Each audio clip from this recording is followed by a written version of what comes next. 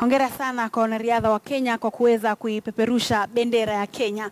Na tukiangalia taarifa za tanzia, uh, mashabiki wa miziki ya kale kama vile rumba na lingala wanazidi kuomboleza baada ya gwiji wa miziki hiyo Papa Wemba kufariki. Papa Wemba alianguka na kuzirai alipokuwa akitumbuiza mashabiki wake katika mji mkuu wa Ivory Coast, Abidjan.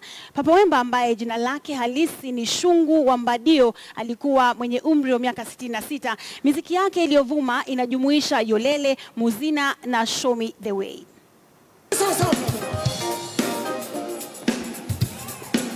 Take it by the end, show me the way I can go. Take it by the end, show me the way.